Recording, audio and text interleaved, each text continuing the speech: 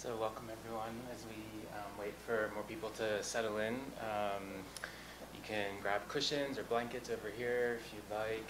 Um, there's a kitchen that has some tea that's, the water is warming up, and the bathrooms are in the back as well, so make yourself comfortable. and we'll get started in just one second.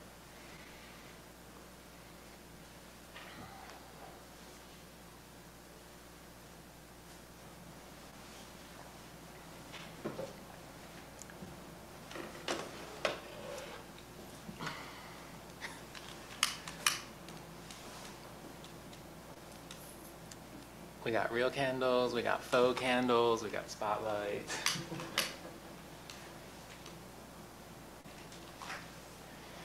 Um, so I'm just reminded of something as I was coming in and sitting down that in, um, so as many of you know, I lived in a, a monastery in the Himalayas for a while. And um, my teacher, whenever she would come into the room, she would prostrate to the Buddha in front of us, in front of the students, as a way of saying her ego is lower than ours. Um, kind of like that moment of humility and humbleness of like we don't really have hierarchy here, especially at a center like this where it's community run. Um, and so that that prostration of her getting down onto the ground and bowing in front of the Buddha was a way of um, kind of signaling that her um, she's kind of uh, giving herself over to the teaching. And so I wanted to just start tonight with bowing to all of you, uh, that I trust the enlightened mind that's already in you, um, and that my role here is really just to point to what's already there. Um, so it's always a very comforting idea for me to know that in my heart of hearts, I'm already enlightened, I'm already a Buddha. I'm just confused and deluded and I forget that.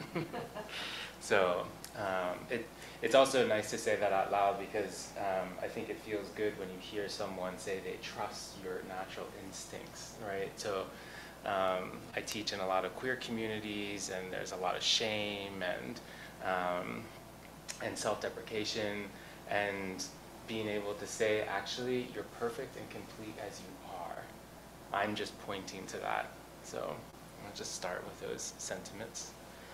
So welcome everyone that's in the space and online.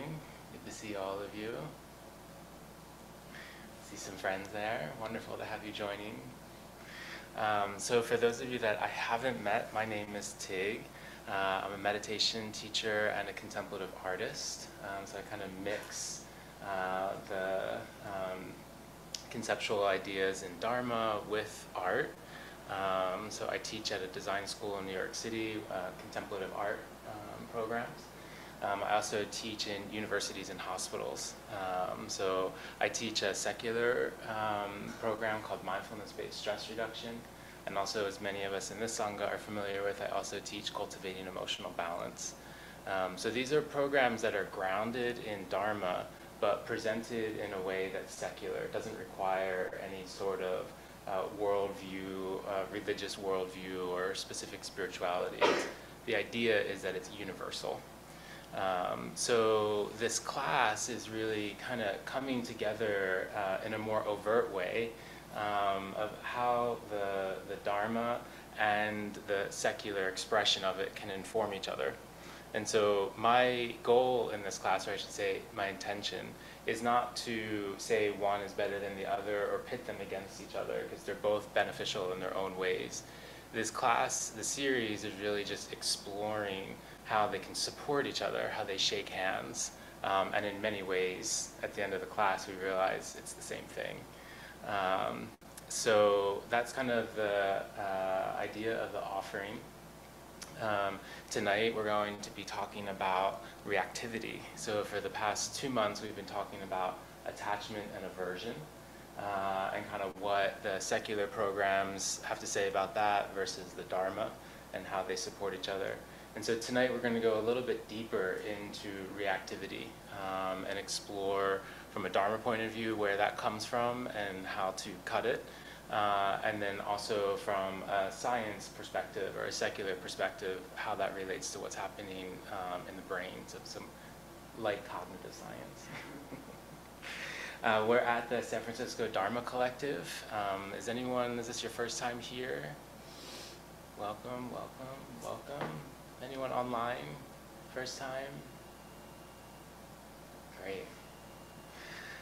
Um, so the Dharma Collective is uh, a Sangha run, a community run organization. Um, so there isn't really hierarchy of teachers here. Um, we're all one community. Um, and one of the things that I really love about the, the name collective is that like we're this group of different sanghas, different communities coming together to practice in different ways, but all kind of informed by the same truths that the Buddha laid out for us. Um, so we're forming our own little sangha here with mindfulness and the secular versus the sacred. So welcome to everyone. Tonight we're going to have um, some time to meditate. We'll be practicing um, I'll give a short teaching and then we'll have some time to reflect and share.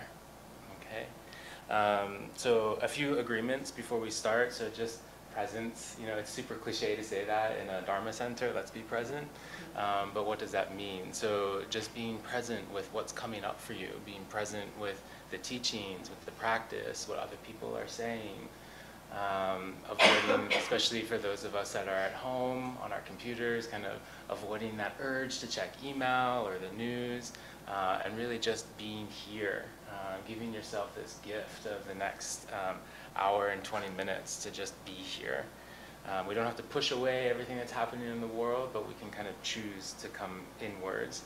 Um, I love this idea, and some of you have heard me say this before. It's like we're in a really busy restaurant, really crowded restaurant. There's conversations going on all around us, um, but we're having dinner with a friend. And so we can place our attention on the conversation that we're having with the person in front of us, even though this loud and noisy restaurant is happening around us. So whether that noise is 24th Street or kids at home or chatter in your mind, um, this idea of being present means that we just focus on the friend that we're having dinner with. We focus on the practice, we focus on the teachings, we focus on our experience. Um, respect, another agreement that, you know, we respect what other people are saying, their viewpoints. We all come from different backgrounds, uh, different genders, different races, different spiritual beliefs. And so let's all hold and create a container for that. Um, we all carry our own bias, some of them very, uh, many of them unconditional.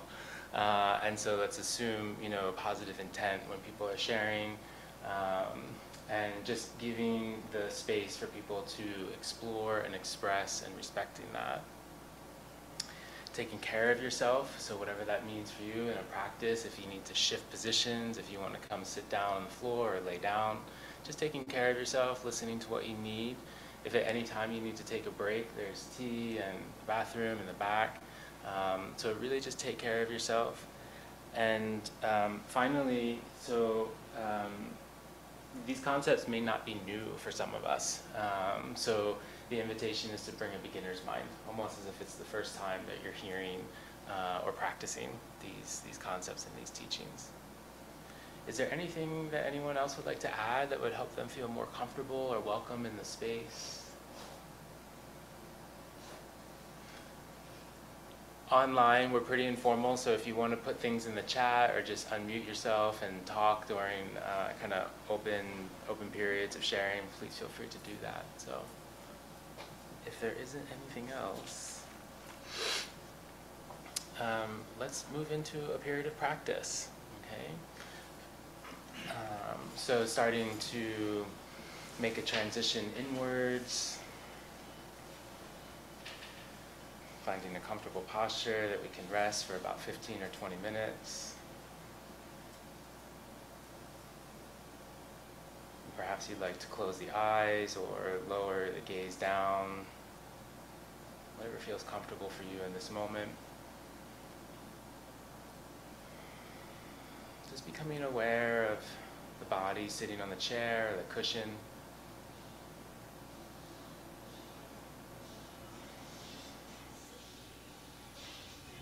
And here we already have our first example of this busy restaurant.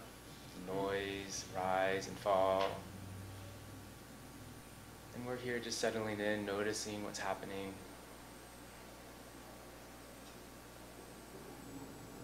perhaps bringing a, a, sense of lifting into the posture, extending from the tailbone all the way up to the crown of the head, just to help cultivate a sense of alertness for the practice.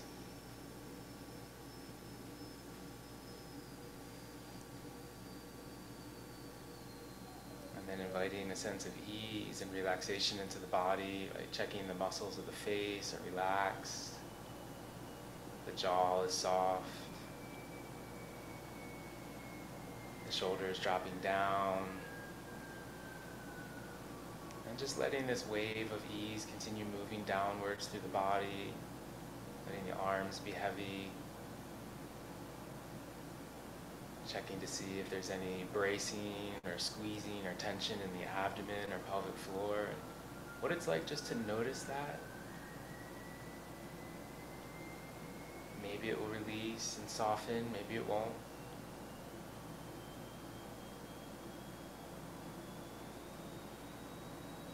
Letting the legs relax all the way down to the feet and the toes.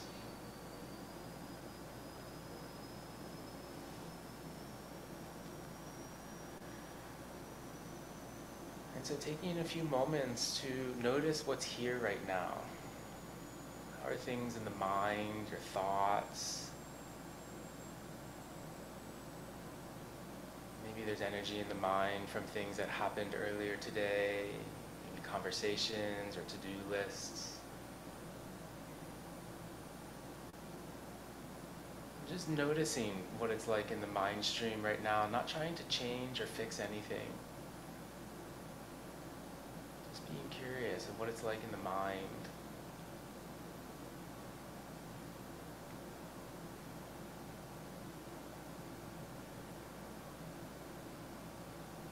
For some of us, the mind may be very busy right now.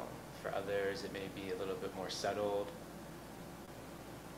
And again, there's no way that you should or should not be right now. Just noticing the way it is.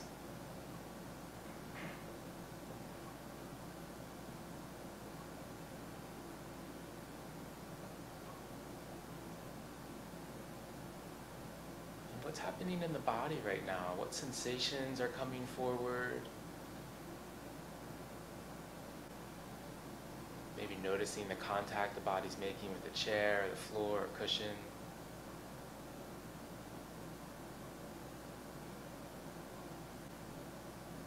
Perhaps noticing a certain energy in the somatic field, maybe sleepy or tired. For some of us, maybe feeling energized and alert checking in with the body, how it feels right now.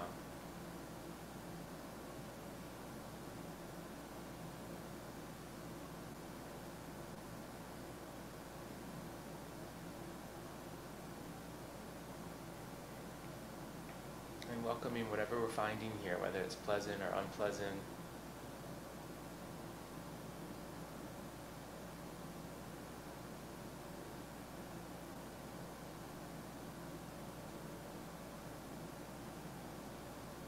finally, let's check in with the emotional landscape, the heart center. What mood, what emotions, what feeling tones are here?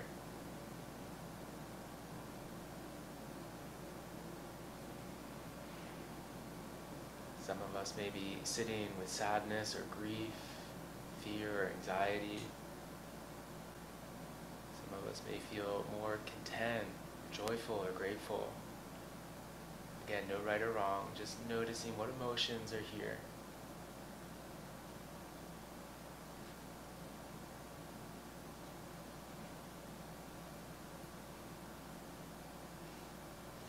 And what is it like to practice now with all three of these elements? So what's happening in the mind, what's happening in the body, what emotions are we experiencing? I like to think of this as kind of zooming out and just being present with these three aspects mind, body, and heart.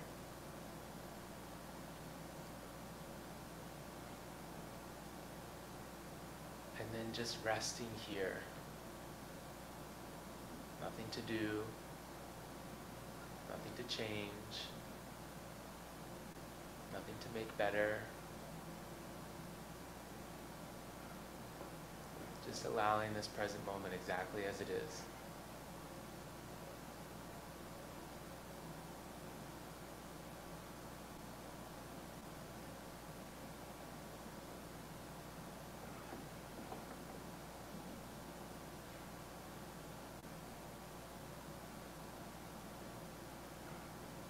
notice how aspects of mind, body, and heart might shift and change as we rest here and notice.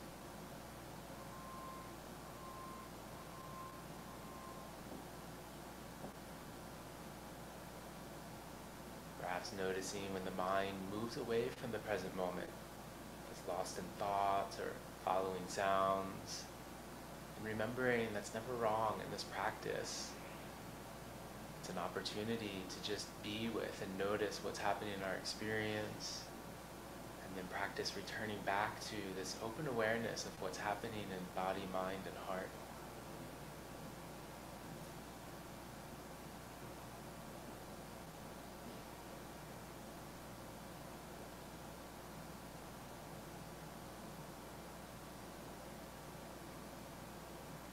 We're to stay here for a few more moments, just settling in, noticing what's here, noticing how the mind may be responding.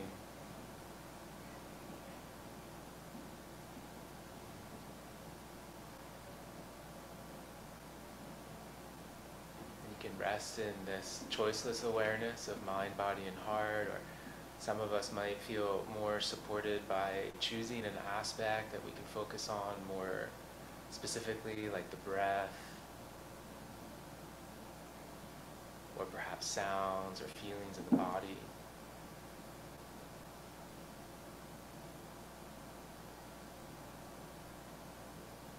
And then again, just leaning back in the mind, resting here and being the observer.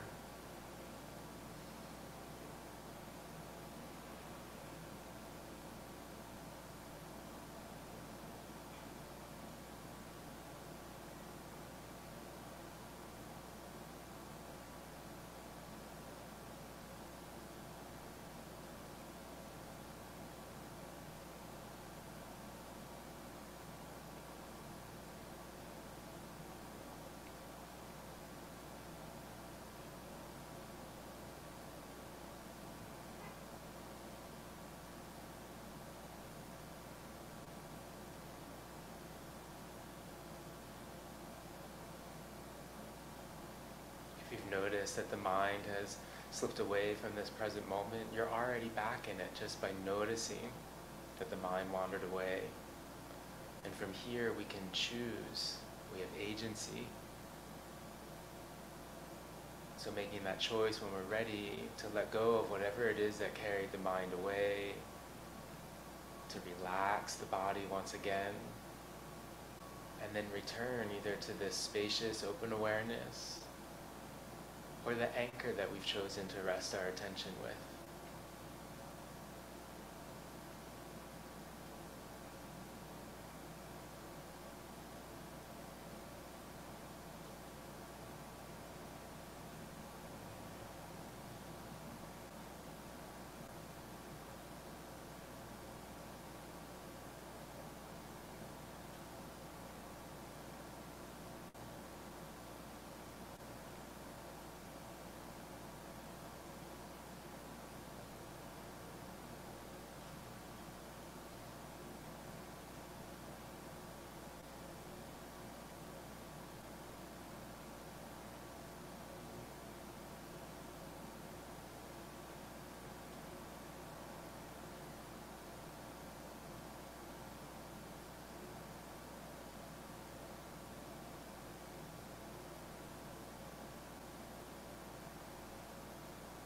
Noticing if there's a story or a belief that this present moment should be a certain way, how the mind should be or the body should be. And just noticing that arise. And there is no way that things should or should not be. Just accepting mind, body, heart exactly as they are right now.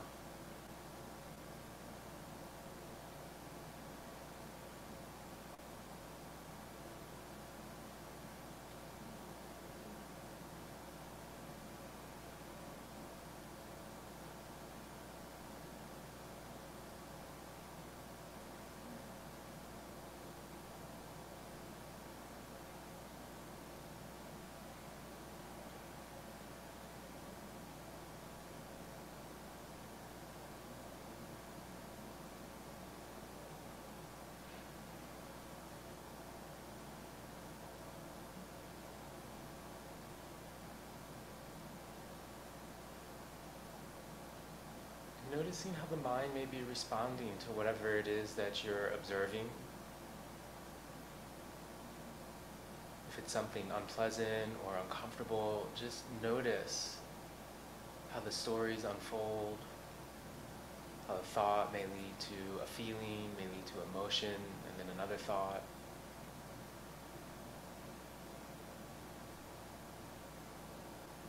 And if you're experiencing pleasantness in your practice right now, noticing how the mind responds to that.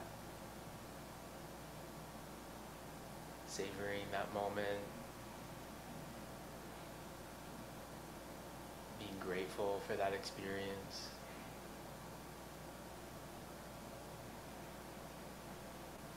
Perhaps even clinging and grasping to that pleasant feeling, wanting it to last longer or happen again.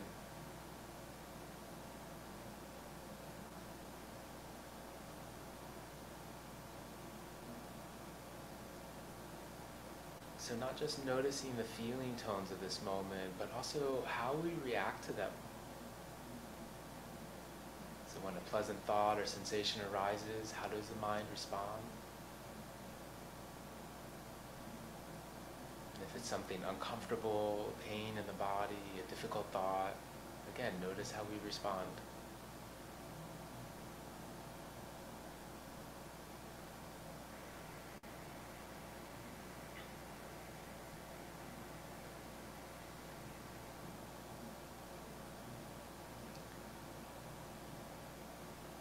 So let's take that a little deeper. If you'd like to join me in turning your attention to something that's happening in your experience right now that feels pleasant, that feels good, feels supportive.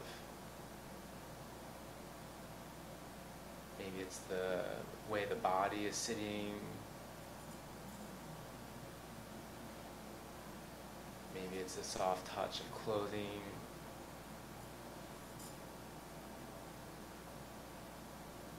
Maybe it's something that's happening in life right now that feels really good and that you're really appreciating.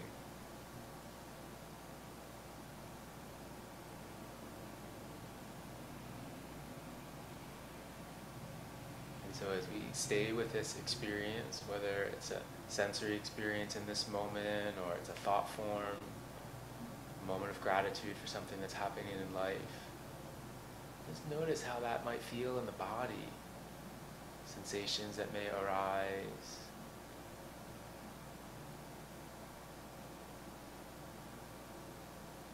Thoughts that may continue to build on top of each other as we think about and feel into this pleasant moment.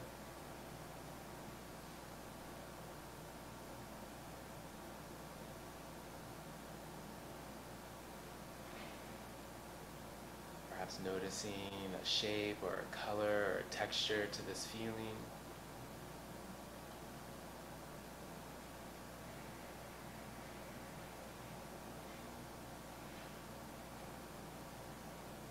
Just staying here for another moment, being with this pleasant aspect and watching what arises.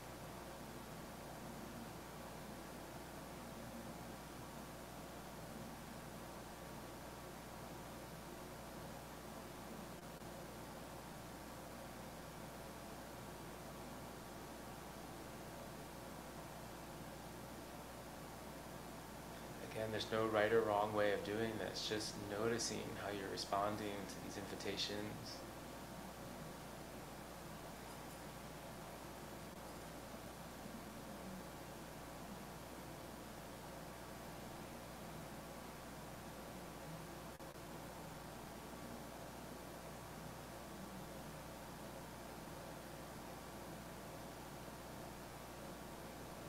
Now let's make a slight transition, shifting from that pleasant aspect to something that's difficult right now. Maybe it's a unpleasant sensation in the body.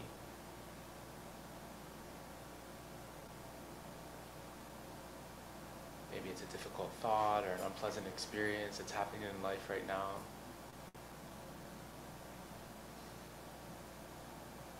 As we rest our attention here on this unpleasant aspect, again, notice what arises in the body. what arises in the mind, what emotions are accompanied with resting here with this difficulty.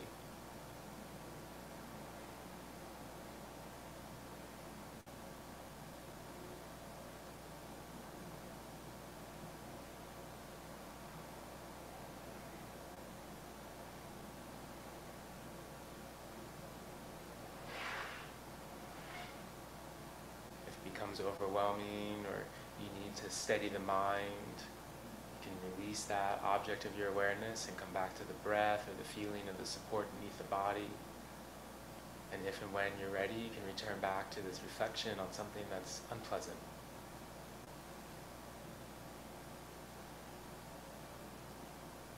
Just noticing for a few more moments how this is unfolding for you, the thoughts, the feelings, the reactions.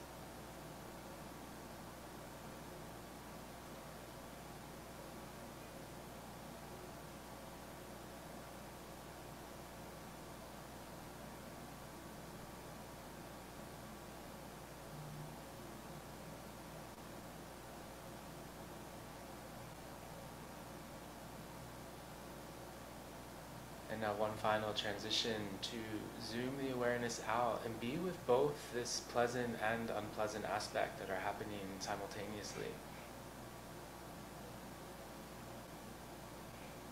So again, I like to think of this as kind of zooming out in the awareness, zooming out the lens of our attention to be with both of these aspects.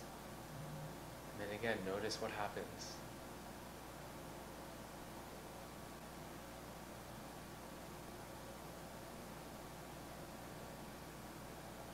Perhaps you're noticing the mind, the attention moving back and forth between the two. Maybe just resting with both at the same time. For some, the feelings may cancel each other out when we rest with both.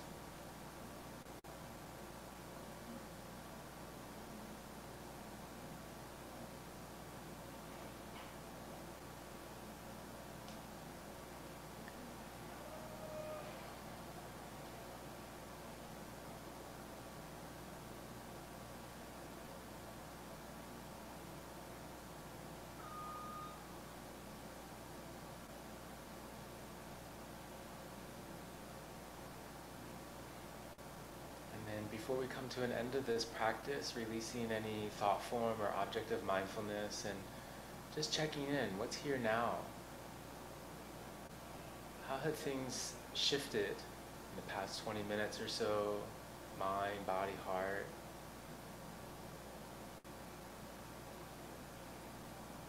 Is it the same as when you first started practice or has anything shifted or changed?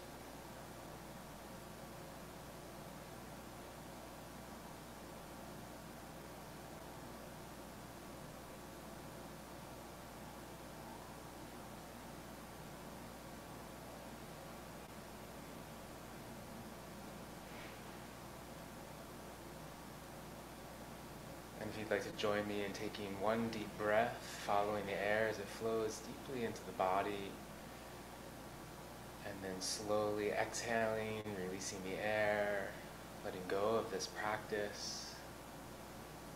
And at the bottom of that out breath, beginning to make the transition out of practice, returning back to open eyes if they were closed, making any movement or stretches that would help feel supportive to make this transition to the next moments of class.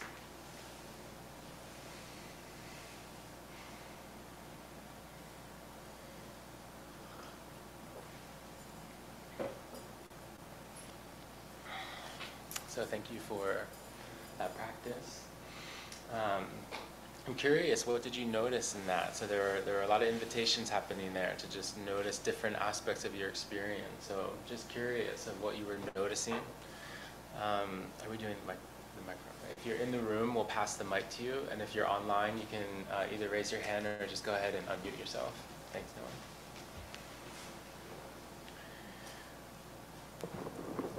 So what did y'all notice in that practice?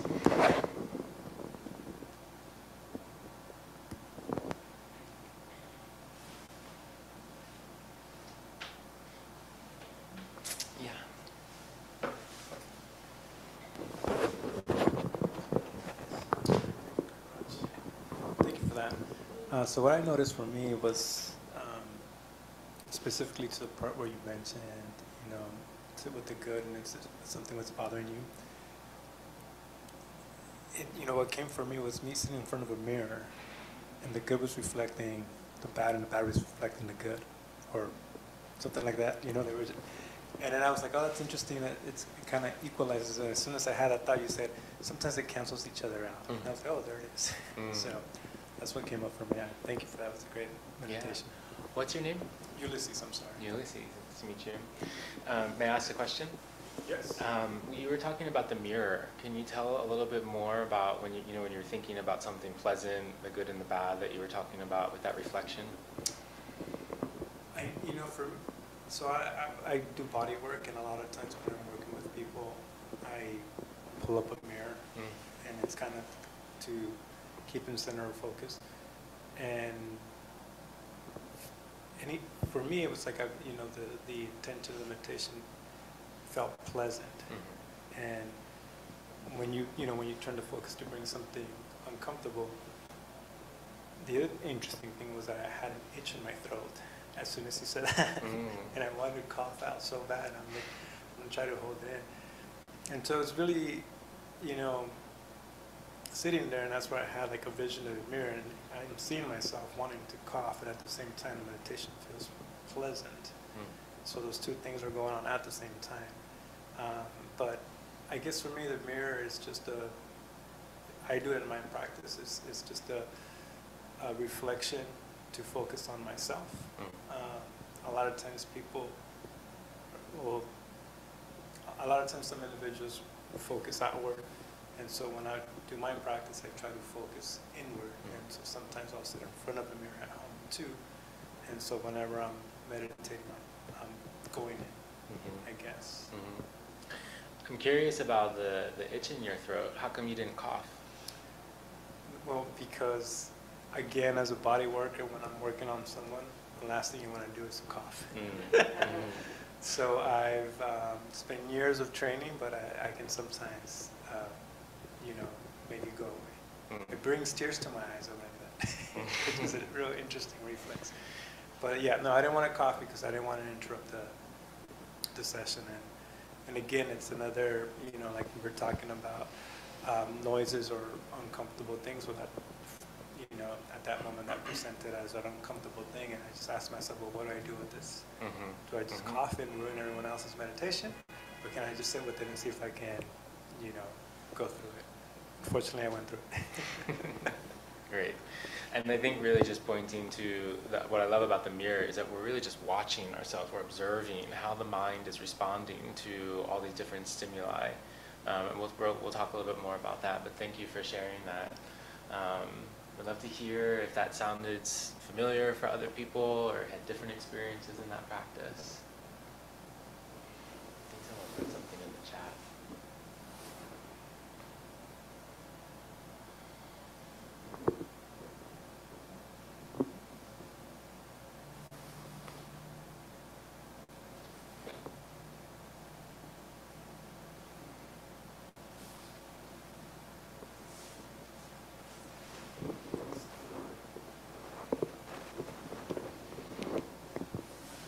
Yeah.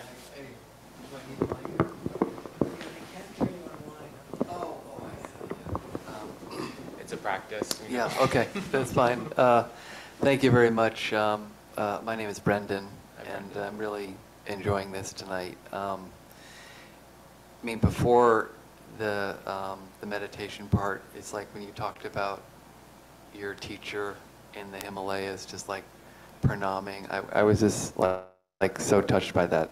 I mean, it just like created this like space in myself where it was just like, anyway, it was just very, very touching. So thank you. It just kind of put me in really a like a deeper place. Um, but I I really enjoyed the um, diving in, and um, you know, a couple little mainly thoughts came up. Um, I mean, just to be specific, I guess uh, that this summer I was living with my brother a little bit, and you know, I had some. There was just some little things here and there, but it's like anytime that comes up, I, I just find, like lately, in my delusion, I will want to like point a finger or something, and then I, I just send my brother love. you know, I just like, like what do I know? And it's like it just immediately like makes the whole thing vanish because I'm just not interested in. It's just a, it's a, a thought. It's a like it's a like a delusional thing. So anyway, I just kind of let go of that, and then um, it was it was just nice. I got into like a nice expansive place, and I just felt like I got in my heart, and it just felt really good, and it's just um, nice to. Uh, my friend Robert here and kind of invited me to come, and um, it's just it's a beautiful place coming here. So thank and thanks for being here. Yeah, can I ask a question? Um, actually, it's, it's more about the first thing that you were sharing about kind of in response to how I opened the space. And that you said your, your reaction to that is deeper, if you felt like you were able to engage deeper. And was there a feeling in the body with that when you heard me say that? Yeah, I, I, I was very, it was almost, I had an emotional response in a way. That was like a very, like, I almost felt, I could have like started crying in a way, you know, but it just kind of resonated deeply and I just, it was like, wow, that's, that's really beautiful, you know, to have like a teacher that, I mean, one of the things I've always done is coach tennis and like I just thought about like sometimes it's just like I'm around like these really loud kids sometimes, and I, I just had an imaginary thought where it's like I would pranam like in front of the kids. I never did that before, but I had this visual, and I, I think they'd be kind of like shocked by it a little bit, you know. But it, it was a very, um, it just really touched me, and, and um, yeah. You'll have to try that and let us know. yeah, okay, good. Thank you. Yeah, really Thank you. interesting, you. know, like how you were describing kind of like you heard me say something and then it kind of like had this visceral, like a feeling in the body, uh, allowed you to go deeper into that moment. So I think, you know, what we're, what we're doing here is just noticing how we're responding to pleasant and unpleasant things, whether that's a, a thought or a feeling in the body. So even though that wasn't in the actual meditation, that's another example of how we're responding to, to different stimuli. So thanks for sharing that. Anything else that anyone wants to share about what you noticed in that practice? Uh, I can, yeah, go ahead, Kate. Oh, thanks, Tig. Um, yeah, I just wanted to say thank you. I really needed that tonight. It was really busy in here, and there were so many changes throughout that short 30 minutes. Um, it was sort of mind blowing afterwards. I was like, wow, here I am again in this new place and in another new place. And there's a lot of that. Um, was this unpleasant? And then I, you know, could focus on like my cat being here and, you know, a warm blanket and, you know, all of the other extra sounds. Um, did sort of cancel each other out. And it was just a really good moment to um, just relax and like check inside. I feel like I hadn't really done that today. Mm. So it felt really good. And thank you. Thanks for sharing that, Kate. Um, and also, oh, sorry. Go ahead. Oh, there's some things in the chat if you don't mind me reading them. Oh, yeah, sure, go, go for it. If anyone wants to Um, read that, yeah, no, I think Eve chimed in uh, here in the chat that she appreciated a gentle welcoming with everything we were meeting through the practice, felt that gentleness really infused my busy mind. And uh, Ben said, I think, oh, never mind. I, I think that was watching the chat, something else in the chat, but I just wanted to add Eve's note there. And Yeah, and so even what you were sharing is kind of like that tone that was set. It kind of we responded to it as we went into the class, you know. So just noticing when someone says something pleasant, how how that sets a tone for a conversation or a gathering like this, and equally when something unpleasant, like I'm very sensitive to sound, and especially the sounds on the street, like the, the motors revving. Um, you know, I have things in my database that that really triggers.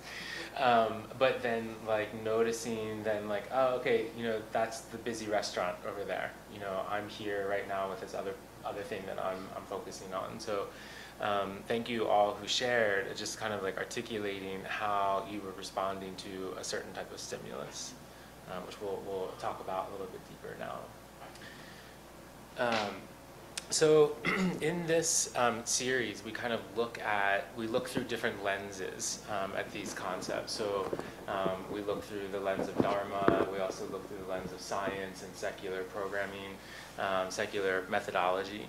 Um, and so tonight we're going to kind of look a little bit deeper at our re reactivity. And we're going to start with the, the Dharma, the more overt way of looking at this and some of the Buddhist teachings. For those of you that are familiar with Vipassana, and have done a traditional Vipassana retreat, you may be familiar with the word samskara.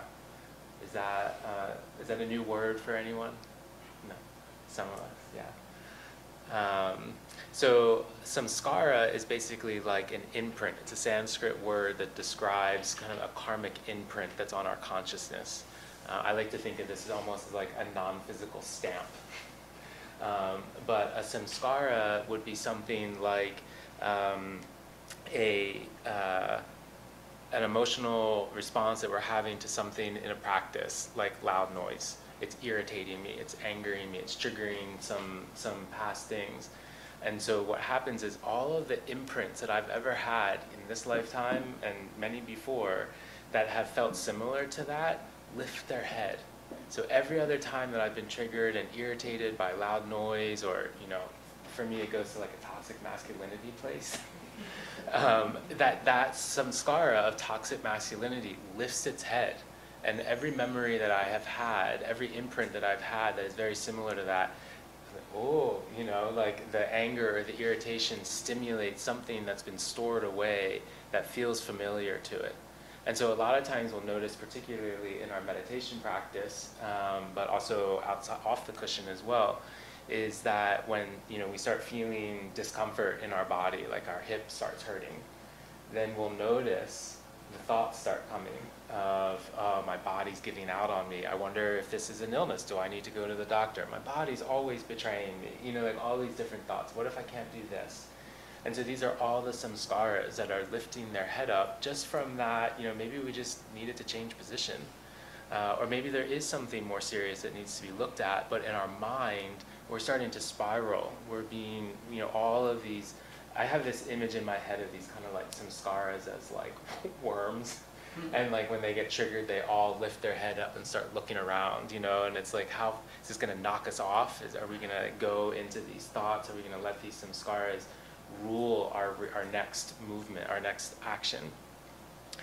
And so the, um, in Vipassana, we sit and many times in very uncomfortable positions without cushions um, with the idea of noticing what happens in our practice when we notice pain or when someone is um, making a lot of noise and starting to irritate us. These are all the triggers. These are all the samskaras being activated. And so what we do in a Vipassana is that we sit and watch it arise. And so by not reacting, by being equanimous and staying steady, even though this painful or this unpleasant experience is happening, it's said that we cut the necks, we cut the samskaras at their necks when we don't respond to them. And it also works on the other side of um, pleasant feelings. So a lot of times, you know, oh, this my mind is really calm, uh, the temperature is perfect, the room is quiet, and then this pleasant feeling, all the samskaras start of, of attachment, of pleasant experiences start lifting their head. Oh, this reminds me of that other time. Um, and I want it to last more. I want, I want it to be longer. I want to recreate this next time. And so those are samskaras of attachment. And so again, just when we're practicing and we're noticing that pleasant, that pleasant moment and then the thoughts and the feelings that come with it, we just notice that and we can cut some of our attachments at the neck. We talked two months ago about attachment, so if you want to like practice a little bit more with that, that recording is on YouTube. Um, but I'm not saying that, I just briefly want to say with the pleasant feelings that we're not trying to push pleasant away. we're just noticing this line between savoring and being grateful for that pleasant moment versus clinging and attaching and grabbing onto it, because then it pulls us out of that moment. So these samskaras work for both aversions and attachments, the difficulty and the pleasant aspects. And when we're staying steady in our practice, um, you know, for those of you that have taken a traditional Goenka uh, uh, Vipassana, you hear him say when he's guiding meditations, there's not a trace of aversion. There's not there's no aspect of attachment to this moment. We're just watching it come and go, and that we're staying steady. And this is the way that we cut those samskaras. This is the way that we kind of reprogram them um, so they don't lead to more destructive result or to further unpleasantness.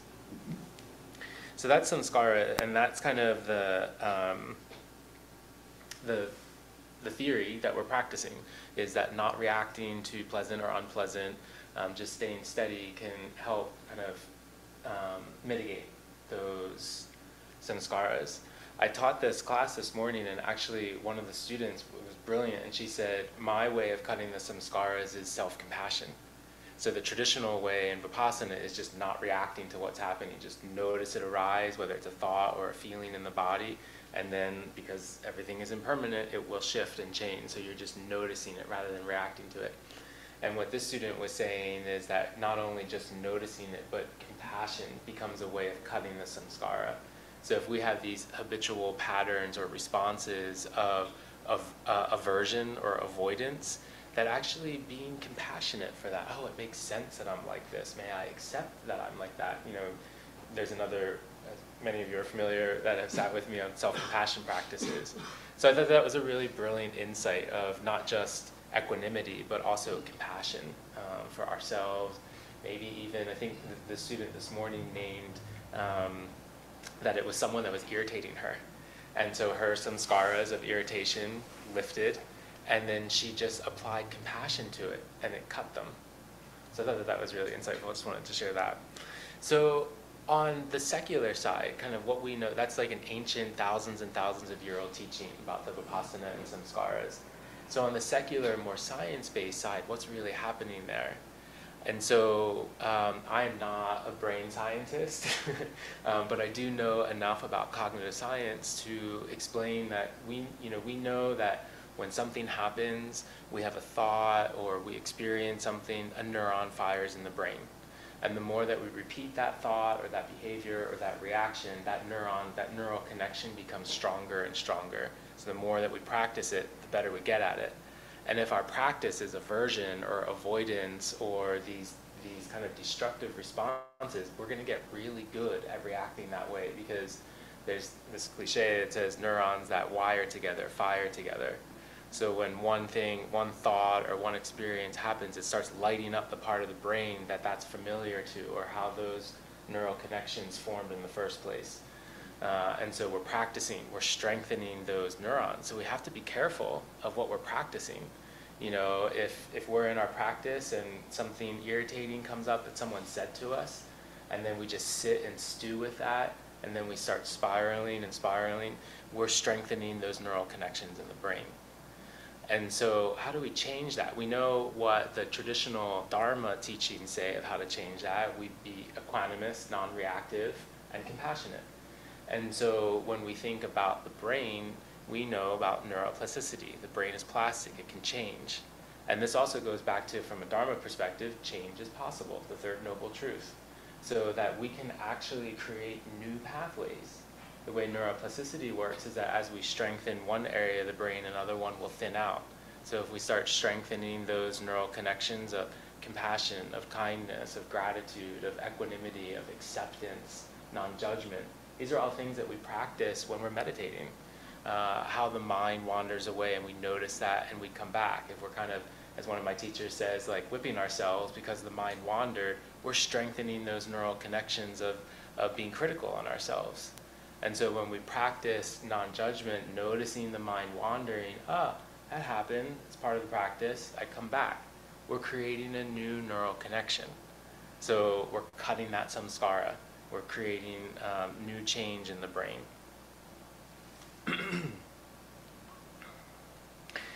um, it's funny because I, I like to share personal examples, and like this one is like, well, let, let me pick one of the hundred that happened already today. um, and so I, I've noticed this pattern when I run. I run, um, and when um, people cut me off or they step into my path or I know a car is not stopping, I get really irritated. And when I'm walking, that doesn't happen. If someone cuts me off or someone blows a stop sign, it's just kind of, it doesn't really phase me. But there's something about like this feeling of like maybe it's like entitlement that I have that I should be able to run in a straight line without people getting in my way. Um, that so this morning that happened like three in a row. People just kind of stepping out, not watching where they're going. And then my thoughts like, why is everyone getting in my way? How come people can't see me? All of my old wounding, uh, like from my childhood, comes up just because someone wasn't really paying attention and they were just standing. You know, maybe they were just standing waiting for the bus. They actually, I was in their way.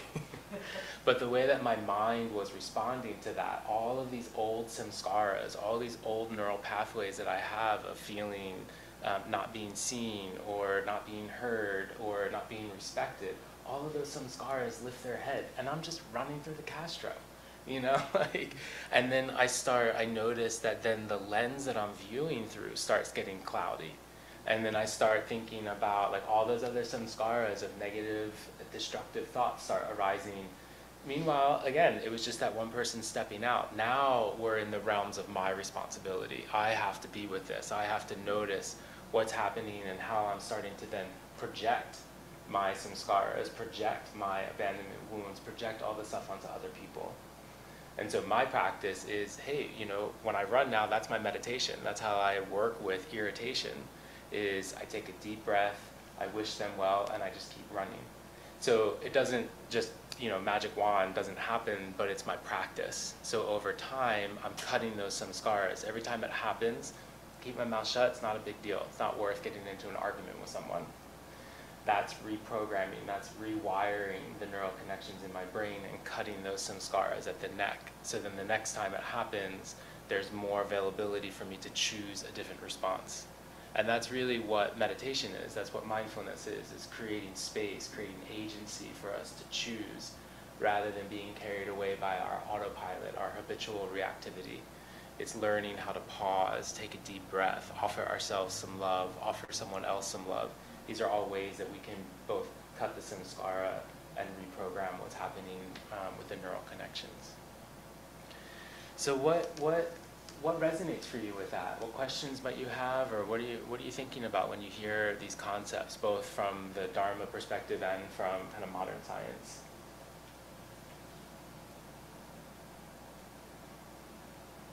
Yeah. Yeah.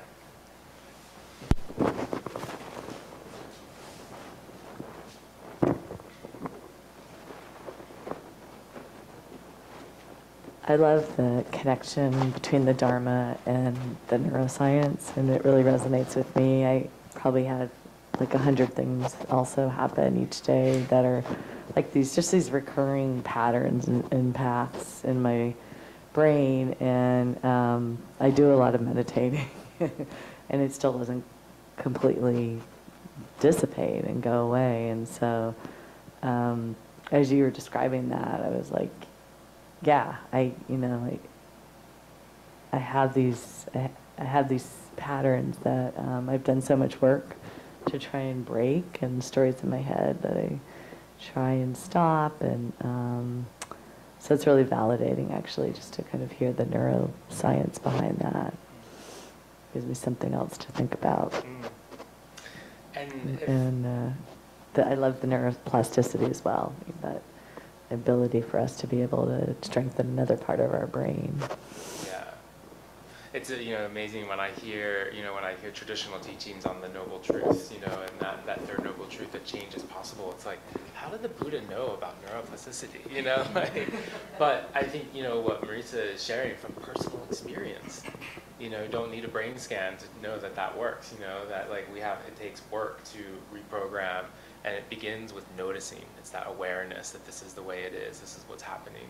And I love that you know you're pointing to this is that we can practice this in our meditation. We don't have to practice it when people are you know um, well it's it can be more supportive to practice it in meditation than actually doing it in real life. It gives us some new neural connections. The more that we practice this kind of steady mind, no matter what's arising, welcoming the pleasant and the unpleasant equally, um, then we will over time be able to see that that effect off the cushion. So thank you for pointing to that. And I think it's also real. You know what you're saying. It takes time. There's no magic wands. You know, it's practice, it's discipline, it's awareness, it's compassion. Thank you. I do have a follow-up question. I think it's a human thing to react to things, right? So the problem is not reacting, but rather reacting and staying with that feeling. Because the moment someone cut you off, a lot of things, a lot of things are triggered, right? Mhm. Maybe from childhood, or maybe your personal safety had been at risk Mhm. because they cut you off and they could cause an accident. Mhm. So it is okay to react to the moment, but what is not okay then is to stay with that feeling because probably triggered a negative feeling, right? Mhm. And you take it personal. If you stay with that feeling, I see that be very damaging. But Mhm. what if you react to it as human and then you move on? Mhm. Is is that does it make sense? And yeah, absolutely. And well, I asked, you know, what are your what are your thoughts on that? Well, I'm human, Yeah. so I would react to Yeah. it. And I think saying I'm human, that's self-compassion. Like this is part of. There was a moment today where I was irritated about something, and I was just walking, and I'm like, oh, right, this is part of being human, right? So I think that that's that act of compassion is just saying it makes sense that I'm having this reaction. is great first Right. step. In in um, MBSR, we get in the mindfulness-based stress reduction program, we get really specific that um, that there's a difference between reaction and response. And so that, yeah, it's hard to change our reactivity, especially when it comes from our personal database, our history, our conditioning, things that have happened, our traumas. Um, and so it does make sense that we would have certain reactions, but it doesn't mean that we have to then act on it. You know, so for me, my reaction might have been like the irritation in my mind, but I just kept running. That was my skillful response. Uh, so yes, it is it is important to acknowledge our humanity and that this is a normal part of the way that our mind operates. And what you're pointing to, in many ways, it could be a, a safety and survival mechanism. Um, so it's that discernment that comes through awareness of what's happening in that moment. Um, but yeah, you know, the model, I could, I could, I could go deep into this, but we don't have the model is that we move from autopilot reactivity to observer, and then from observer to skillful responder. And we do this all through mindfulness and heart opening, so wisdom and compassion. So I was just weaving together a lot of the secular and the sacred words there. So does that, how's that sound? Yeah. Yeah, yeah. Thanks for sharing that.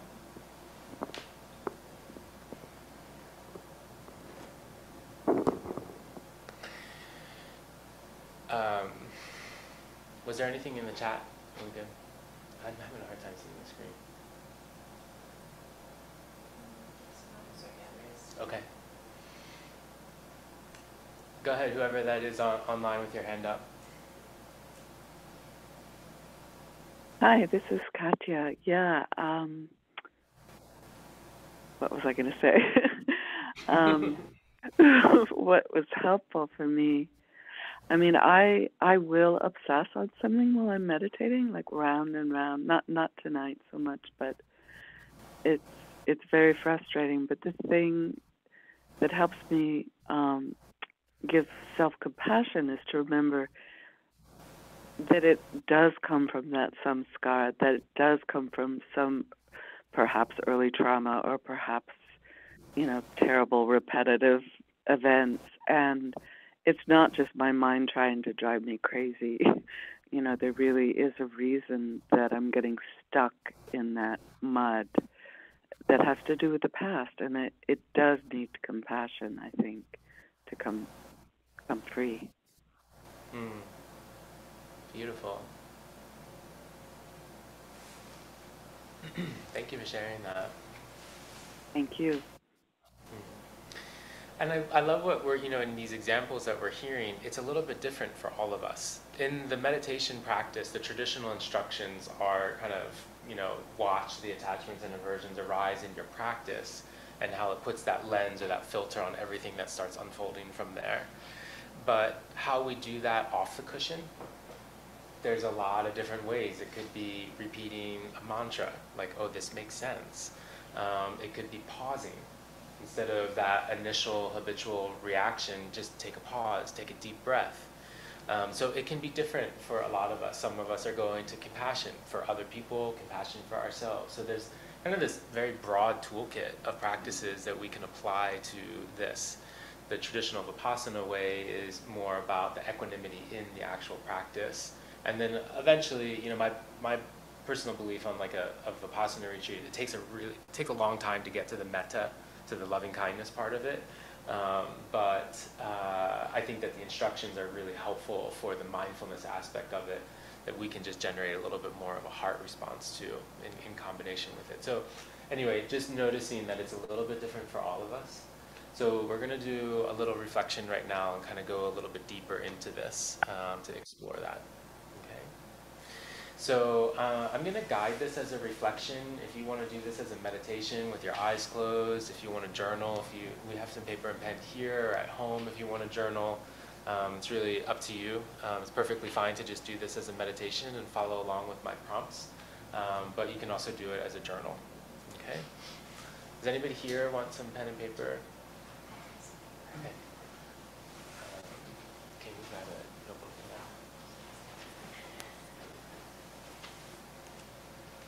While we're kind of getting settled for this, uh, the other thing I wanted to point to, I was talking a lot about the third noble truth. So for those of you that might be uh, newer to the Dharma, um, this is kind of the fundamental teaching that the Buddha left us. The first noble truth that there is suffering. The second is the cause of that suffering, this mistaken view that we have of the way that reality works and our attachments and our aversions that come with that. And then the third noble truth is that change is possible. And the fourth being the path towards that change. So even the Buddha laid out some options. You know, we got eight, the, the Eightfold Path of mindfulness and speech and action and all of the different um, steps along that noble path are ways of cutting those samskaras. So um, we can talk more about that if there's interest. We'll, you know, I think over time we'll do a, a whole series of kind of secular versus sacred with the noble truths. Maybe we'll do that next year. Um, so if you're interested in learning more, you know, looking up that fourth noble truth, and it really lays out that kind of roadmap to alleviating some of these samskaras. Okay, so let's transition back inwards. Maybe you'd like to close the eyes, soften the gaze. And just take a moment to come to the breath or a sensation in the body, just to anchor yourself again in this moment.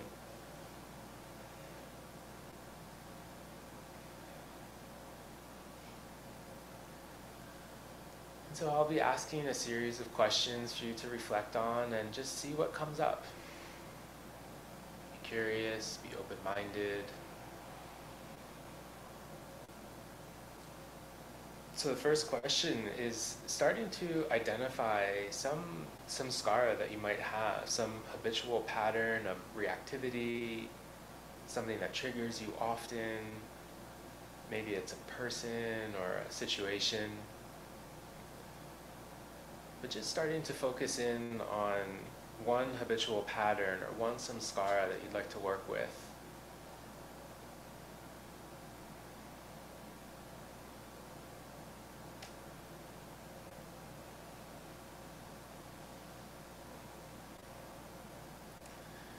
And maybe you'd like to use your visualization or imagination to see this happening in the mind's eye, if it's an event or a conversation,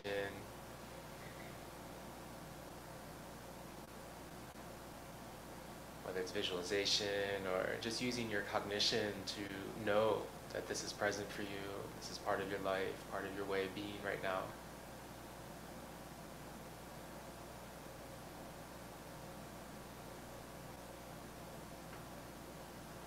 And what is it like when you get triggered? So when this irritating or annoying thing happens, what is it like in the body? what response arises in the somatic field. Maybe it's a tightening of the chest or energy in the arms.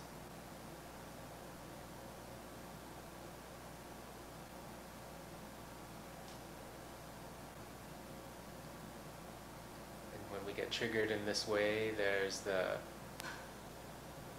physiological response in the body and then also the psychological response in the mind. So, how does this affect our state of mind, our mood?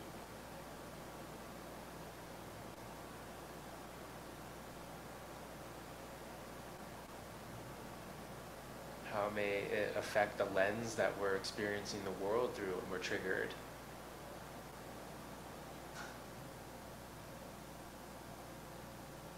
Our thoughts spiraling, beliefs about ourselves becoming reinforced, stories and narratives unfolding.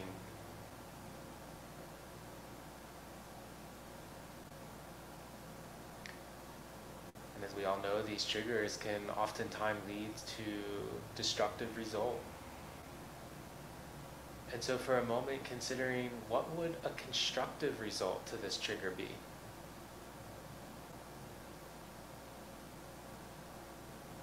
What is it that would be helpful in the moment of a trigger to tell yourself how to act, take a deep breath, pause, just taking some time here to think about a new way of responding to this trigger.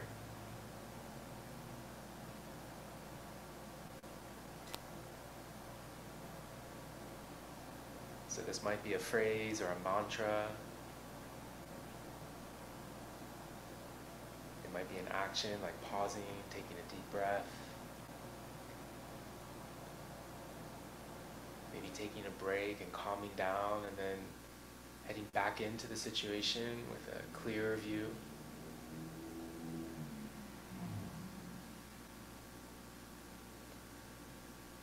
And now, with yourself in that situation of trigger, imagine this new way of responding happening. So instead of your habitual reaction to that samskara or that neural connection firing, what's one thing different that you can do that would lead to a constructive result?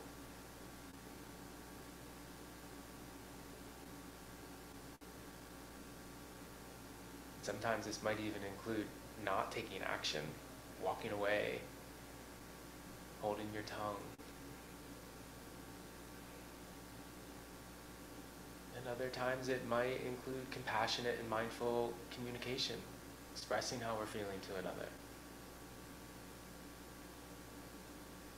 But now just imagining that you're taking that constructive action to this trigger.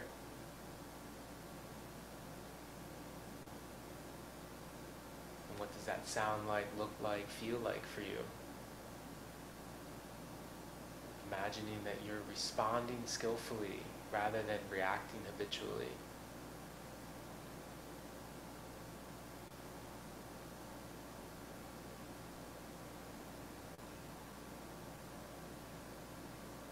And even in this visualization, we're helping to create and strengthen those new neural connections of how we'd like to respond. So visualizing it, becoming familiar with the feeling, we're practicing our skillful response.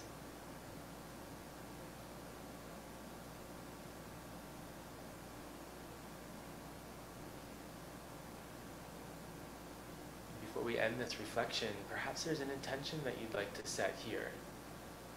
A way of responding to samskaras when they lift their heads. A way of reprogramming our neural pathways to respond in a more compassionate way.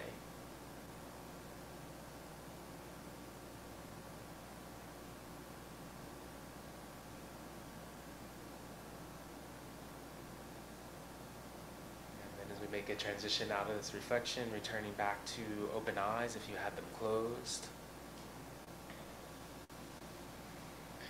I want to read this poem. I think I might have read it at our last class, but it's a good one, so I'm going to read it again. um, so this poem is called Autobiography in Five Short Chapters. Chapter 1 I walk down the street. There's a deep hole in the sidewalk. I fall in. I am lost. I am helpless. It isn't my fault, and it takes forever to find a way out. Chapter 2 I walk down the same street again. There's a deep hole in the sidewalk. I still don't see it. I fall in again. I can't believe I'm in the same place. It isn't my fault. It still takes a long time to get out. Chapter 3 I walk down the same street. There's a deep hole in the sidewalk. I see it there. I still fall in. It's habit. It's my fault. I know where I am. I get out immediately. Chapter 4 I walk down the same street again. There's a deep hole in the sidewalk. I walk around it. Chapter 5 I walk down a different street. So I just want to open it up to kind of talk about what that reflection might have been like. If anyone wants to share um, what your intention is, there can be a power behind putting some vibration to your intention, um, or any reactions to that uh, that poem. So what comes up for y'all?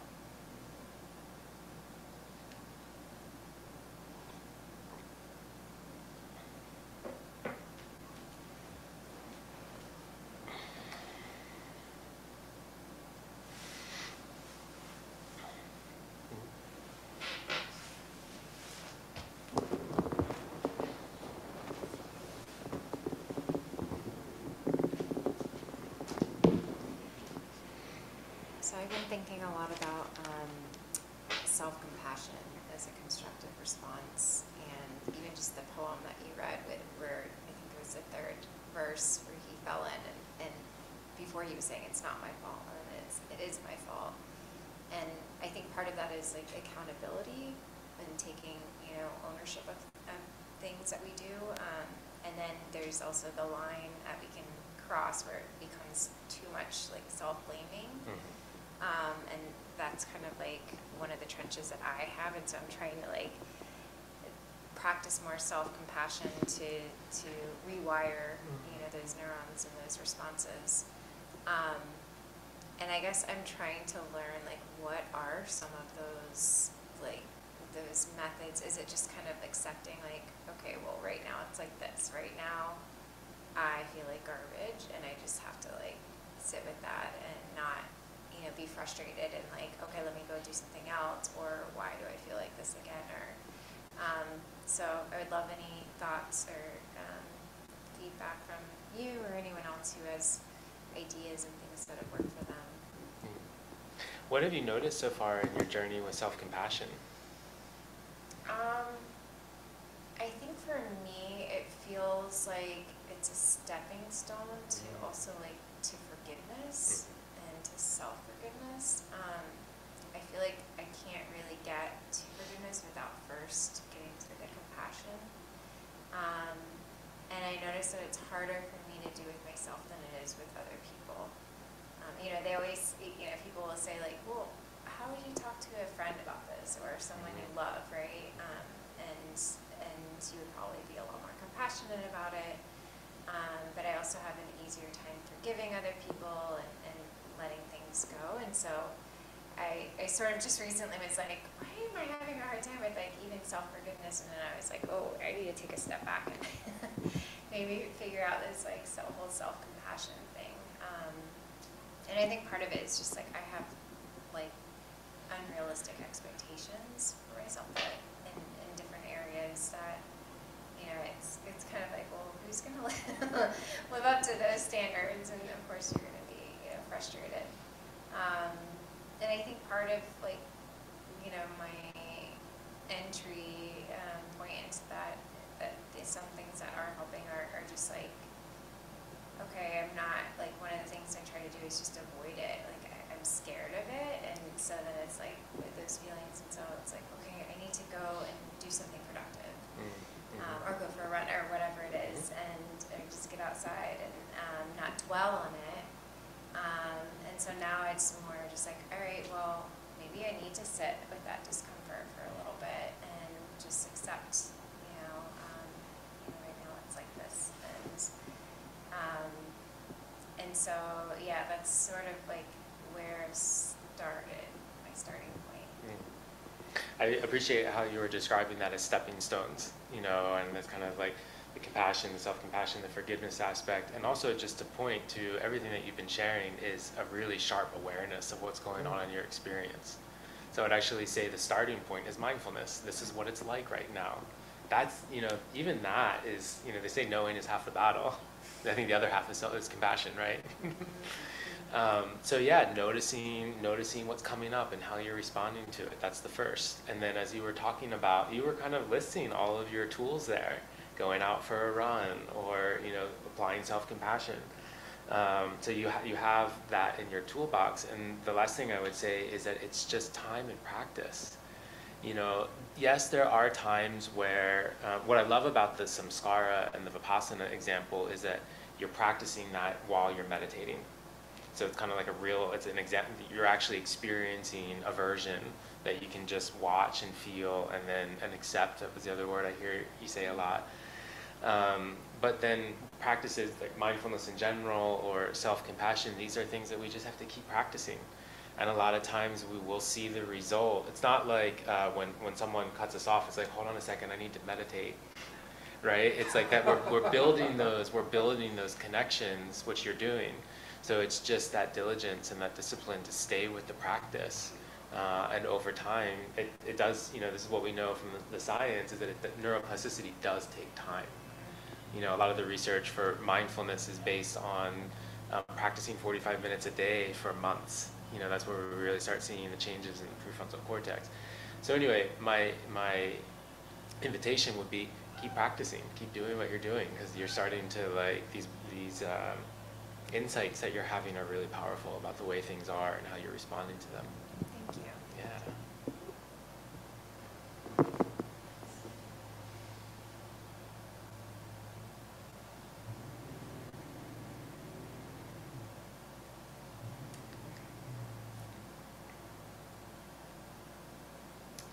Or Diane, would you be able to read that? Yeah, Ben just wrote, hold on a sec, I need to meditate. That's basically what nonviolent communication is, LOL. Oh, Um, yes, you're I'm- always training something, building something, some kind of relationship with your device, paraphrasing Randy Fernando and Spirit Rock Day Long about technology addiction and a few years ago. And then he said, hold on a sec, I need to meditate. That's basically what nonviolent communication is, LOL. Mm.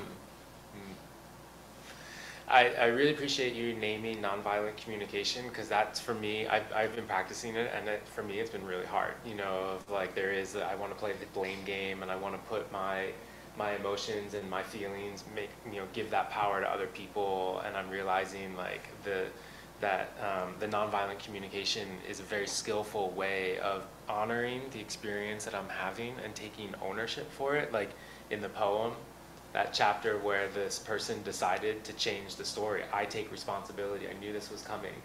And so that's kind of what I love with the nonviolent communication is like we have to take accountability for our emotions and then communicate them in a way that's that's soft, that's skillful, that's non-blaming, non-accusatory. So I, lo- I'm, I'm, I sometimes I think in, in imagery, and right now as we're all sharing, whether it was Ben or what was your name again?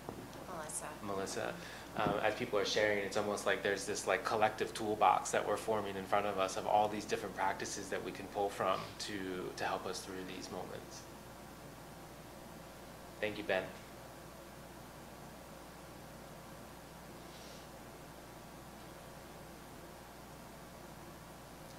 So, uh, going back to that reflection, did anyone have an intention or anything specific that they wanted to work with? What was it like when you visualized that? Anything come up there?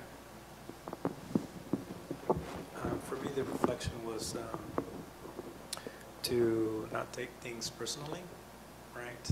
Um, and I tend to shut down, you know, um, someone is either, you know, gets angry towards me or, you know, you know, gets confrontational. And where I feel is in my chest, my body tightens up. And it's a better step than I was before because before I would react violently. so now it's just like instead I just like you know I, I kind of close down.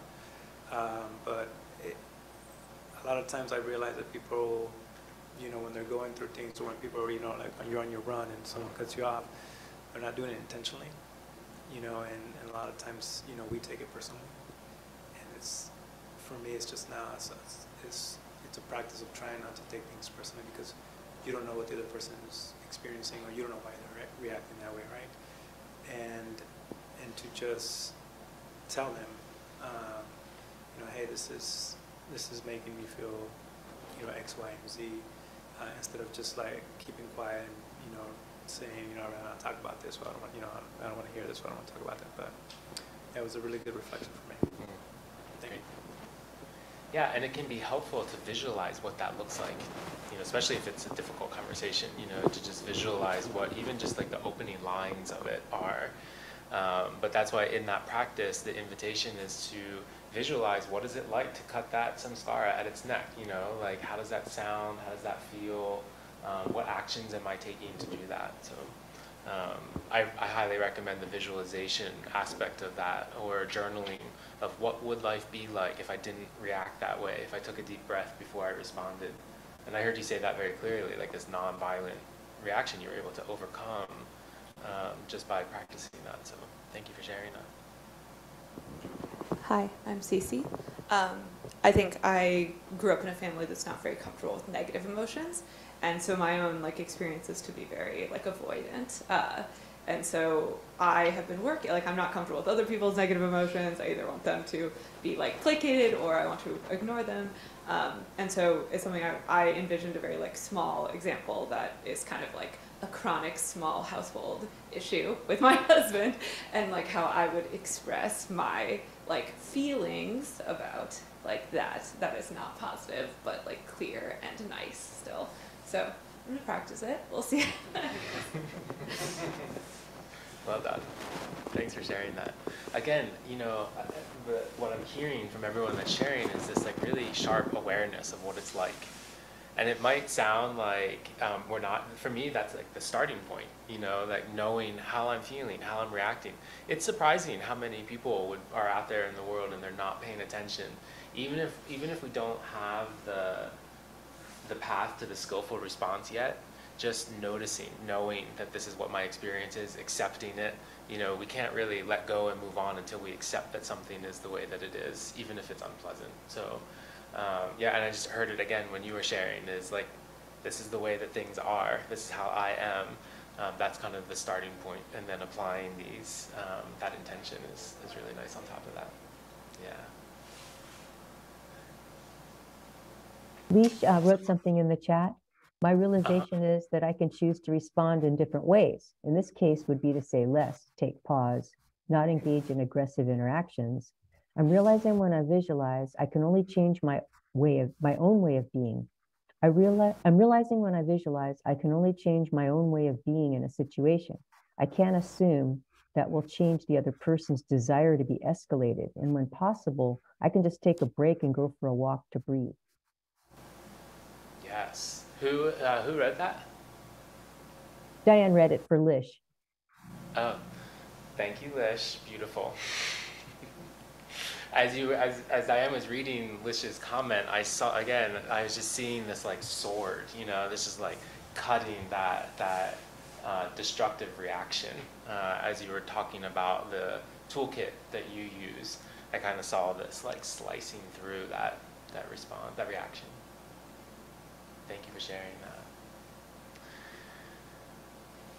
So we're almost at the end of our time. So uh, let's just take a few moments to dedicate the merit that we've been generating in this practice together. So maybe you'd like to close the eyes, coming inwards one more time.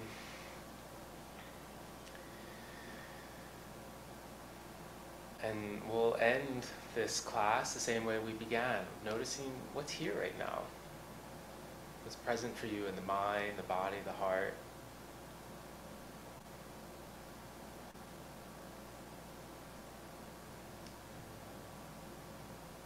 And what it's been like to hear these teachings on reactivity, samskaras, neuroplasticity.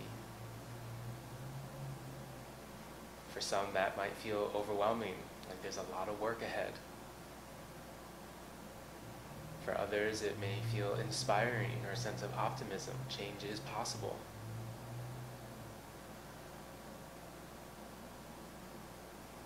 And so, as we reflect on the energy that we've been cultivating together here as a Sangha, practicing listening to teachings, both secular and sacred, and that reflection of how we'd like to intend to meet our habitual patterns. Let's dedicate all that energy to the liberation of suffering, our own, those around us.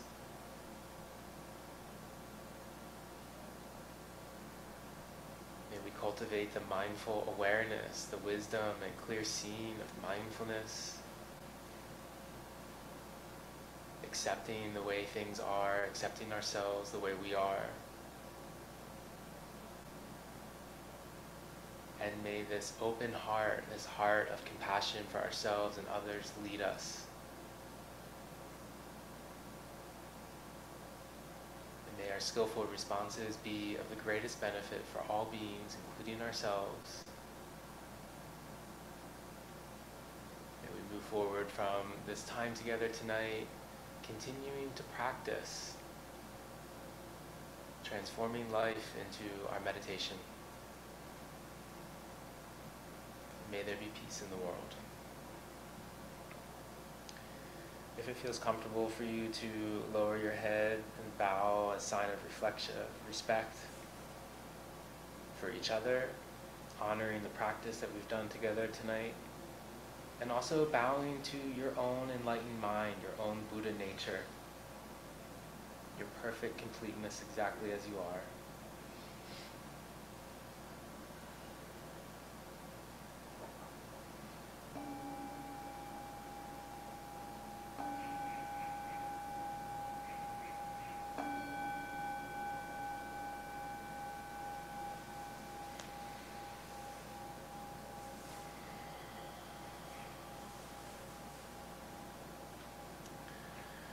So thank you all for your practice, for your participation. Thank you to Noam and Cage and Diane, our volunteers for tonight.